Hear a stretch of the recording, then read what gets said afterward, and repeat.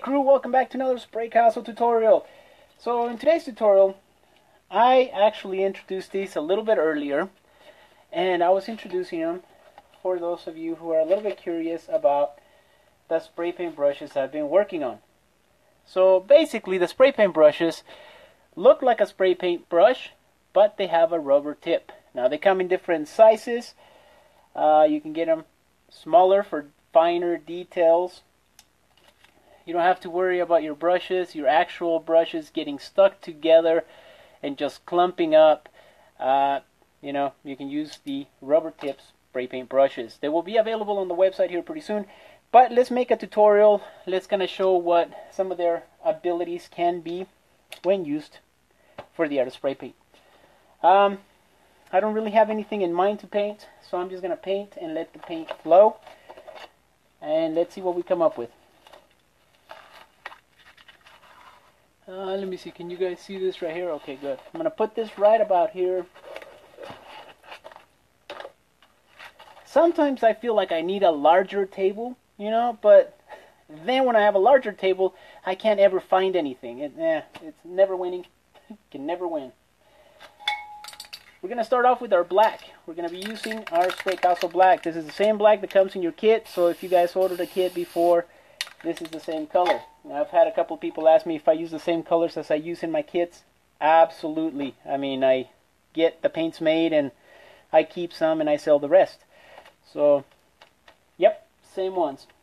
All right, I think, uh, you know what? I always say let's start with the sky layer and work our way forward. So, I'm just going to use our light blue. Now, guys, this is a light layer. You know, there there's a difference. Dark layer, light layer. So I'm usually about a foot, maybe a foot and a half away from my painting. This is going to be my my sky. You know, here is the critical point. This is where you can actually create a division between water, if you're going to add some water, or just, uh, uh, you know, just a regular sky, and then we can cover the bottom later on. But in this case, we're just going to make it all sky. I don't think I'm going to make this a water painting. I suppose we could, but uh, we'll see. We're going to start off by creating some terrain here in the background. So I'm just going to come through, tap, tap, tap, tap, tap. I'm just going to come down here. So this is the infamous Spraycasso tool. This is the one. There's similar tools out there, but this is the one we get specifically made for us. I'm kind of picky when it comes to the rubber that we use. I want it to be durable. There's a rubber that is almost almost like a like an eraser rubber, so it doesn't last very long. So I'm kind of a picky guy. I make my manufacturers try different rubbers. In this case, this same type of rubber is the same type that I've used in my uh, my brushes, my spray paint brushes. You guys are probably wondering what this is. Uh, yep, so am I. No, I'm gonna make this into like maybe just a background. This is not even gonna be the focus of the painting. So what I'm gonna do, I'm gonna create one there. Maybe we can add a little bit more black. I'm gonna create one here in the distance. Yeah, let's do that. I'm gonna create something way back here. Way in the distance.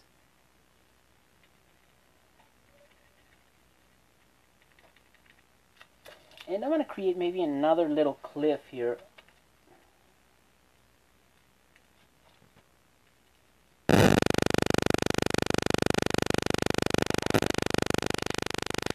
Okay. Now to save on me using the tool over and over, I'm just going to use some black.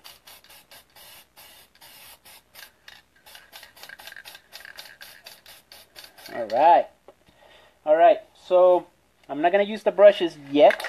I'll use the brushes when it's a little more detail required. I'm going to use some of our sky blue, same sky uh, color that we use for our sky in the background. Now, okay, here's the thing. The tool, you can see the black underneath, right? Let me show you how easy these tools are to clean because they are rubber. Now, whenever I had to use regular bristles on my, my paintings, they weren't this easy to clean. I had to use acetone, kind of let them sink, uh, sit in there for a little while. Check this out. I'm gonna make this rock here. I'm gonna fade it by using our blue. Just kind of fade it, light layers. Now I'm gonna come here with a regular light blue again, but I'm gonna make this terrain right here a little more defined.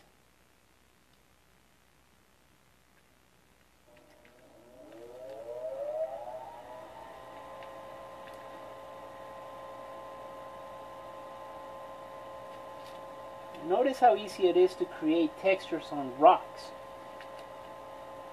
a little more there.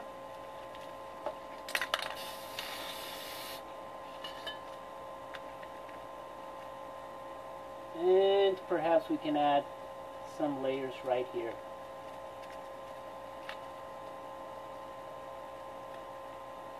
You don't have to concentrate a lot on the detail. The detail will come later.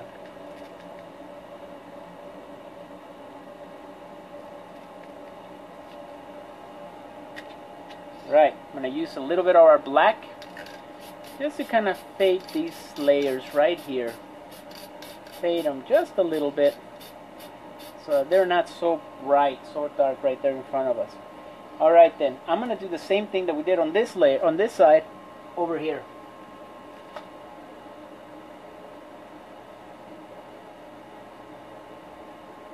We're just creating some rocks, some terrain, some texture, look at that.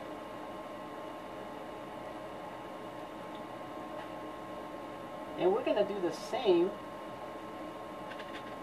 that we did on the other side. We're going to fade it.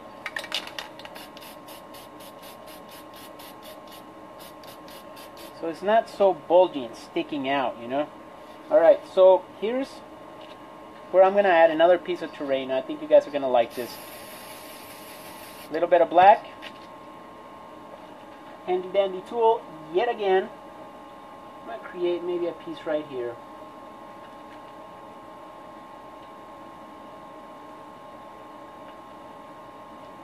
Alright, sorry if my head is in the way guys, but got a big head. Alright, we're just going to add another piece of terrain here. I know you guys are probably wondering like what the heck spray. Well, I don't know yet, but let's figure it out. I'm just doing something that's that you won't commonly see out there. There's a lot of uh, stencils. There's a lot of uh, cool little techniques people are experimenting with. And with it, sometimes you'll see a lot of the same paintings over and over and over and over. And I think that's great. I mean, hey, I'm all down for practicing and getting everything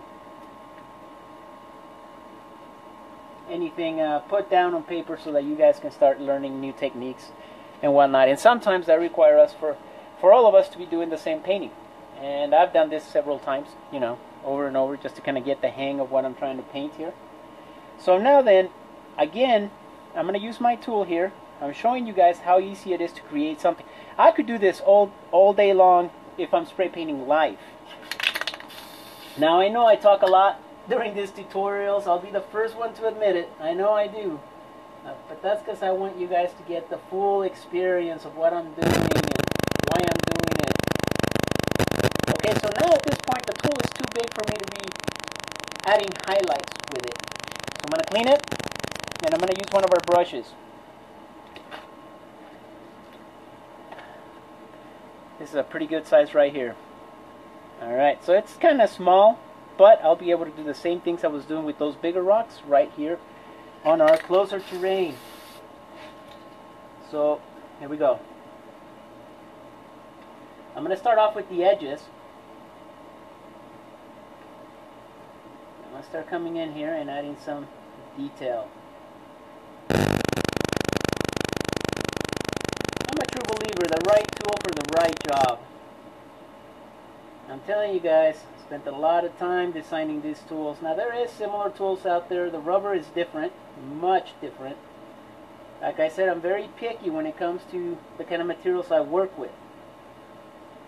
And because of that, I've had I've had to wait sometimes sometimes even years when I'm creating or developing tools or spray paints. Easy, easy stuff. Look at this.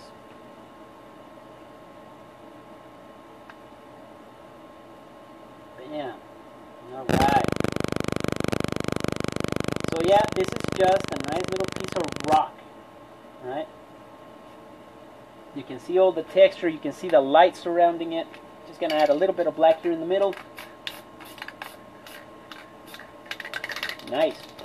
Alright, now let's add some detail to it. What do you mean by detail? Well, I might have to sit down for this one, but you can add, uh, maybe not. Let me see if I can come in here closer. Maybe we can add like a little castle or little house of some sort. It's one of the main complaints I've had over the years. People want to be able to paint as if they were painting with acrylics or oils and well it's not quite the same. Uh, this dries faster than anything you've worked with before.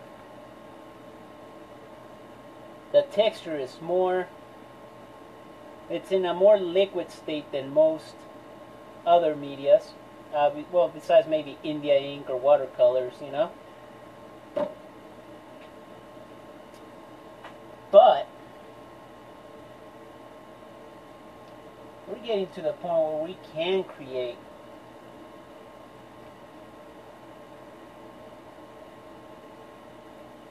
more detail on our paintings and using the right tools is step number one.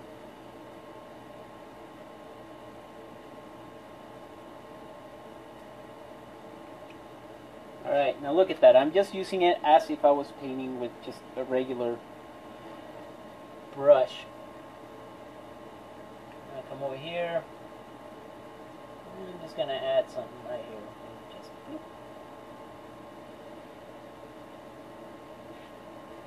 I'm going to add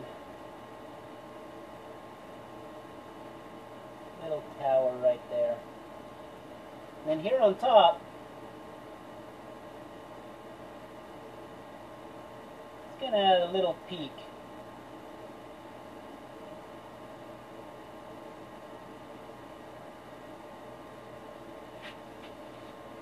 Alright, just gonna go here.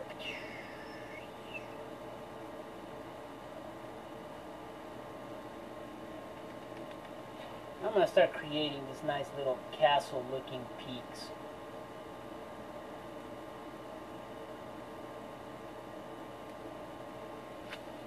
See that? You can really starting to take shape, huh? Alright. And as you can tell, I mean, it's taking about the same time it would take if you were to be spray painting live.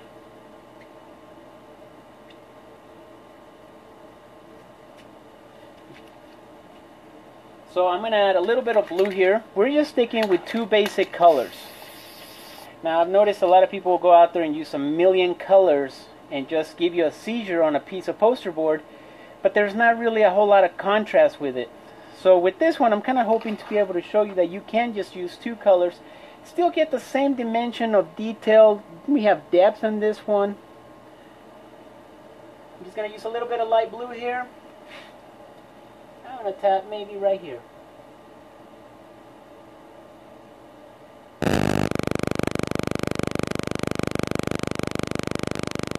tap, tap. I'm going to do the same right here.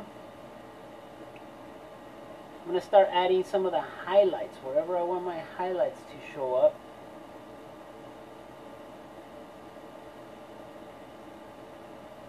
Notice here I'm just tapping, tap, tap, tap. I'm going to make a little roof right here.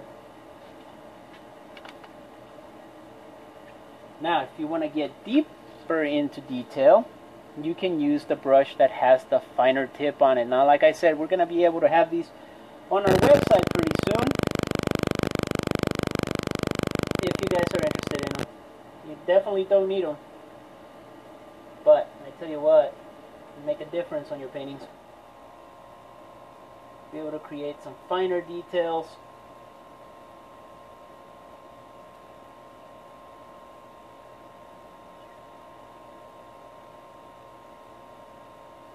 Make a little door right here.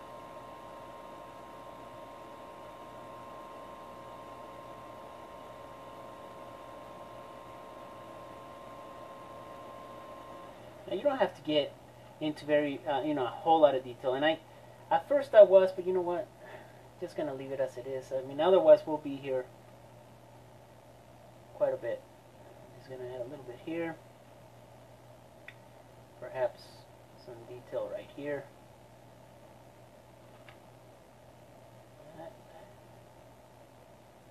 Now, if you really want to add some some awesome highlights, we can add a little bit of white let me clean my tools here. Funk right here. Nice and clean. I'm going to add a little bit of white. And I'm thinking I'm going to, yeah, I'm thinking I'm going to have our, our light source right about here. So we're going to come in here, just add a little bit of white. And then we want to blend it in. So you put your white and then you blend it with the rest of the colors.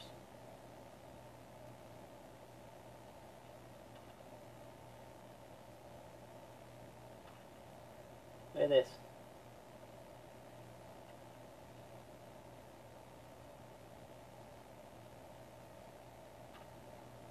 Just to add maybe a little bit up here.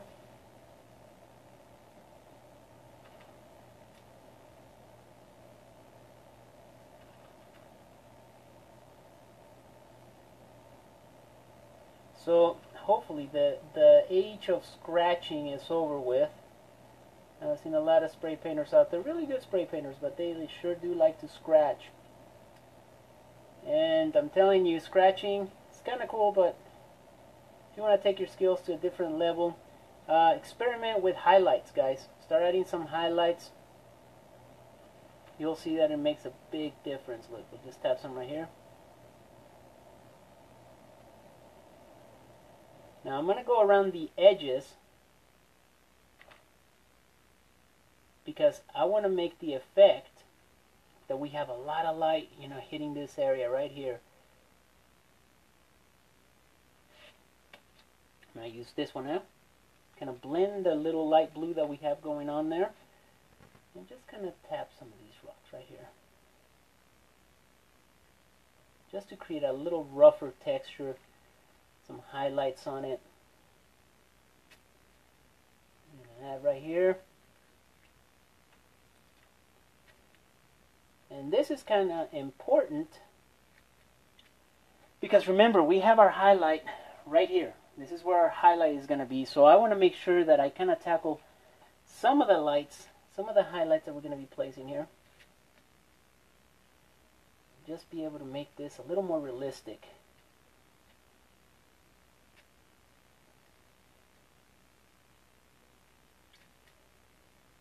How's everybody doing?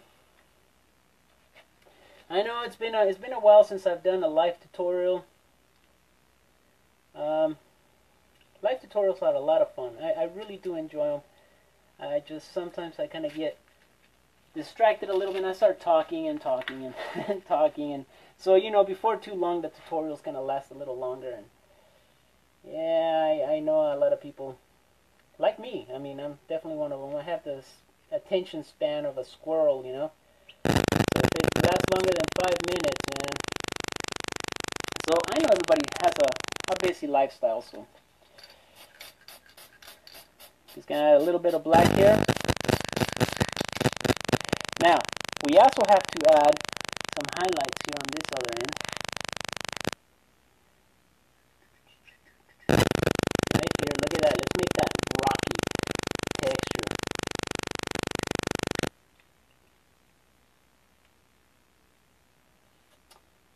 a little bit of white right here. Now, check this out.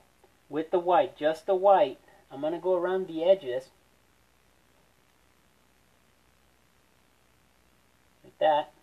And only on certain areas. I'm going to add some right here as well. I know you guys are thinking like, what are you doing, Spray? Well, you'll see.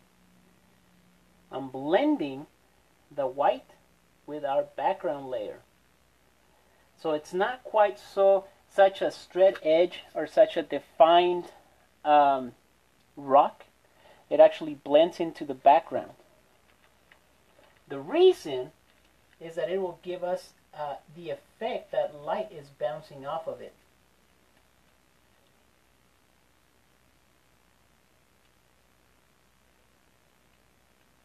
Just add a little bit of rocky terrain right here.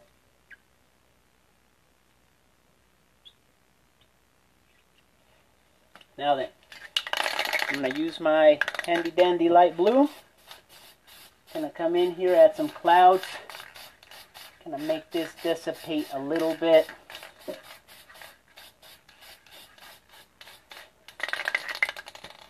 guys remember how to create a moon?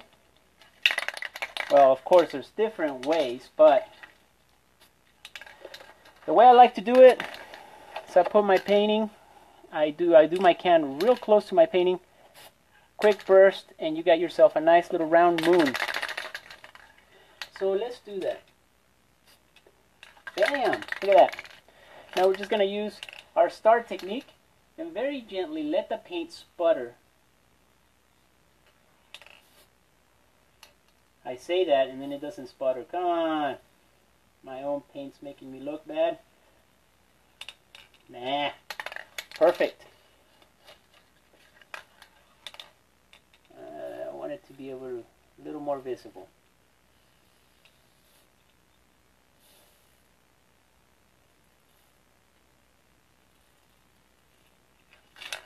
Awesome.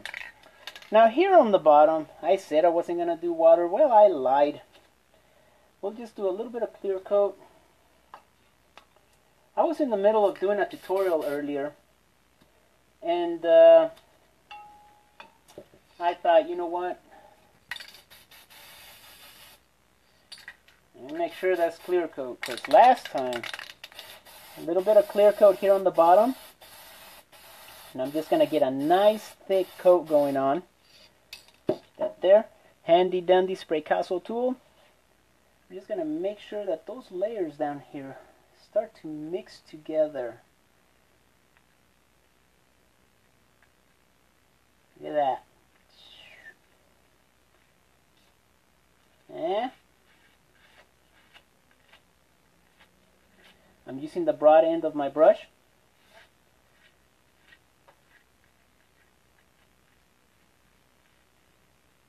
And that will just make some of the colors together.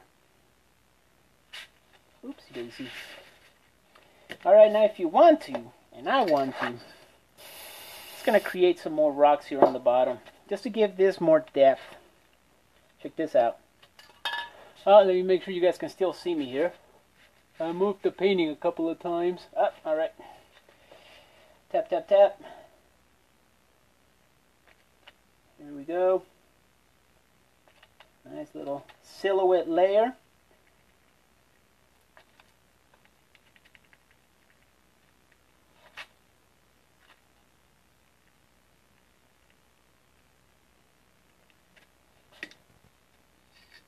More black.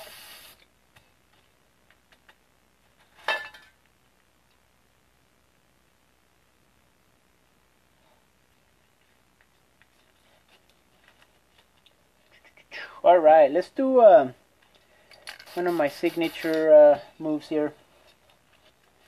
I'm to create a nice little silhouetted terrain right about here. Feel free to do the sound effects as well. Eh? I'm on. I like to make sound effects when I'm painting. Little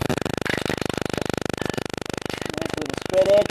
Spread edges, different sizes, guys, will save your life.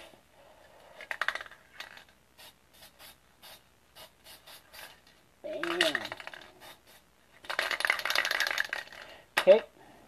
Now I'm going to add a little bit of white right where we had our white previously.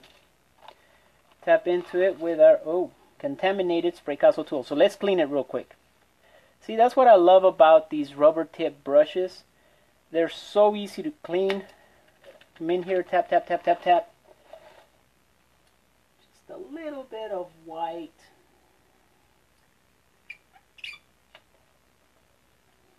Just add a little bit of white back here.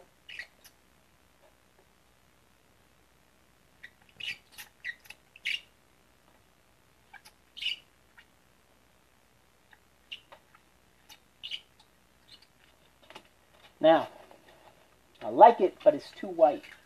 So I'm just going to add, just going to tone it down a little bit.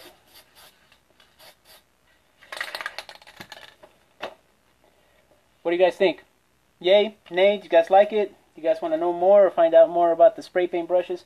I'm hoping to have them available on the site uh, probably within ow, a week or two.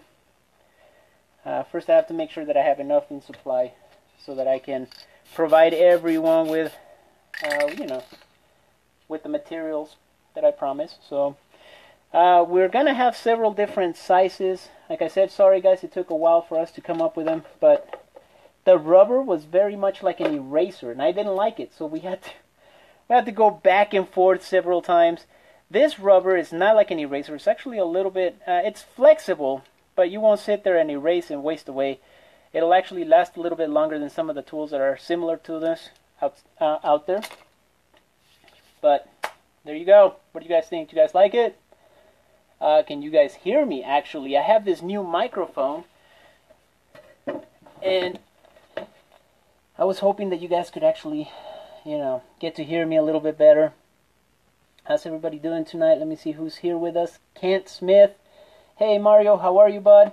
Uh, Jean Mark, Justin Childers. Cool, man. We have the whole group right here. Brandon Lee, Greg and uh, Balkan, Randy Tucknon, Rafi, Adrian. Hey, Adrian Celaya, what's up, bud? Haven't haven't seen you in a long time. Enrique Ramos. Wow, we actually have a pretty big crew. All right, well, thank you guys for joining me in this tutorial. Let me see who's on. Billy O, how you doing, Billy? Uh, thanks, man. I'm glad you like it. Uh, you can still add some more details to it if you choose. Uh, maybe a little bit of black. Sea sponge, guys. This is what I use. I get a lot of I get a lot of emails, a lot of wonderful emails. But most of you guys are using these foam brushes. These foam brushes they work really good. But ah, you know, to make plant life, some trees, stick with the uh, sea sponge. I'm telling you you won't regret it. It's actually very neat to create plant life with it. It, it makes them so very realistic too. That's what I love about it. So what I like to do is I bring the plants here into the ground, into the water. Alright, well I'm going to call it on this one. Thank you guys for watching. Uh, don't forget that whenever you make this, the most important thing about your spray painting is your signature. So I'm going to add a nice thick layer of clear coat to make my painting nice and glossy.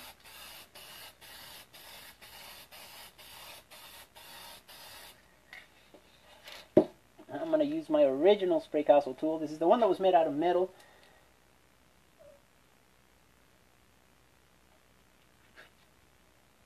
Spraycasso 2017. Alright guys, I'll bring this up so you guys can see the detail on our castle there. Some of the detail on our on our terrain. Look at that. Alright. Okay, well thank you guys for joining us today. Until next time. Keep those cans shaking.